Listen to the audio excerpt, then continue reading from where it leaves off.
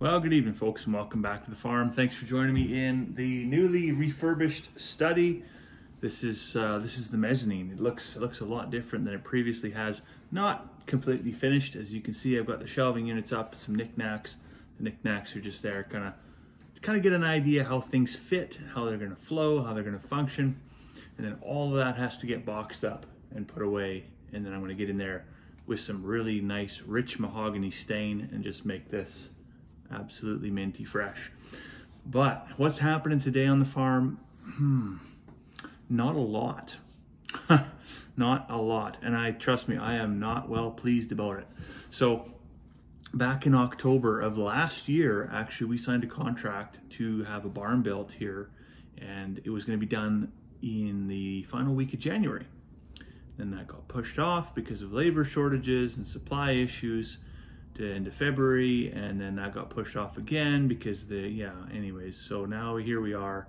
What is it today? Like the I think it's the 14th of March today, and they were going to start this morning. In fact, yesterday they were out. They pounded some pegs, and they said, "Yeah, you know what? We'll be all the machinery, all the equipment, everything is here. Like it's here." The guy showed up at eight o'clock this morning, fiddle farted around for about 20 minutes, and then they left and I hadn't even come out of the house yet, and they left, and I'm like, hmm, that's kind of strange.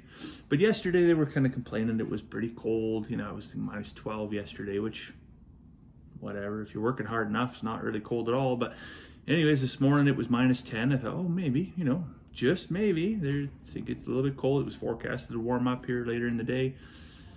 Maybe they went for breakfast and they're going to come back and start off once the heat of the day sets in. Well, no, I got a text, you know, a couple hours later saying, yeah, we're, we're not doing your barn this week. Uh, we're just, no, we're not. So then the guy showed up half an hour later and I went over and asked like, hey, like, what do you mean? What do you, what do you mean we're not doing it this week? Oh, well, one guy's, one guy's got a sore finger and the other guy's, you know, not feeling that great. And uh, we've worked 30 days straight. And so we're out and they just they locked up everything and then phew, sayonara down the road. So so yeah, no barn this week, and I was just aghast. I like I can't believe it. Like yesterday you were here and you're building it, and today you're not at all. So, anyways, on the phone with Integrity Building Structures or Integrity Post Frame Structures, whatever they're called, Integrity, and said like, hey, like I'm I got stuff lined up. There's there's kick plates. There's you know, sand that's coming for the floor. I got to run electrical. I got to do all these things is happening before April 15th, which is rapidly coming because we're going to be lambing here right away. And I'd like to have this building done, not just the outside done, but like the inside done. So it's actually a functional building before lambing gets here, just to make it that much easier. And, uh, tick tock, tick tock, right? This, uh, the, yeah, it's we're getting right down to the wire. So I was pretty disappointed, anyways, in that. But yeah, phone call to the phone call to the company and hey, like, what can you do here? Like, uh, we got any other crews? No, no. There's just there's just nobody, right? I don't know where everybody went, but it just kind of speaks to how real the labor shortage is. Not only you know here, like here in northern Alberta, it's a huge thing. There's a there's a big transient population. There's not a lot of the workforce that actually lives here. So then when folks just pack up and go home, like it has a serious impact, right? But also in in Alberta, largely that's that's a, a, a greater thing, right?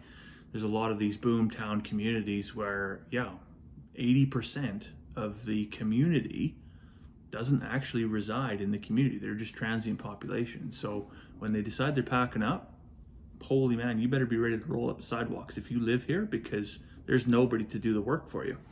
So it's a it's a it's a real challenge. Now on the customer service side, that's where I was really disgruntled because, you know, we've waited five months for this building to show up. And when the guys actually get here with the equipment, the materials, and there was there was four of them here yesterday and four of them here at eight o'clock this morning. And then to just pull the plug with uh, really not much explanation that's that's pretty concerning right? So you know if the guy says hey you know what? We're we're in a bind here and i can't you know i'm, I'm shorthanded. You know one guy one guy gets injured and he hurts his hand. You know i can i can deal with that. But just the kind of the the very nonchalant like yeah, we're going on days off. We'll see you in a week. You know, that the customer service just kind of rubbed me the wrong way.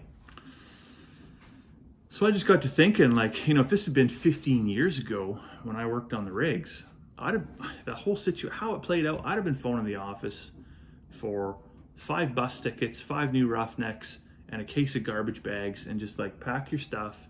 You're done. You're not coming back. But the reality is, what are you gonna do? Where did everybody go? There's there's just literally nobody to do anything, and I can't go out there. They left the keys and everything, but I can't go out there and build that barn myself. Like even if I had a couple of a couple of hands, you know, it's going to take me a month to do what those guys can do in four days because they just boom, boom, boom. They just cookie cutter these buildings, right? So, anyways, that's the disappointing news for today. And uh, looks like I've got the rest of the week to not give you updates on the barn, which is pretty disappointing.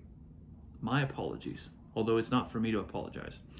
Anyways, it's uh, it's getting on to be supper time here, so I'm gonna run in the house and see about fixing up some salad. So I'll let you go for now. I hope your day's going better than mine, and we will see you tomorrow.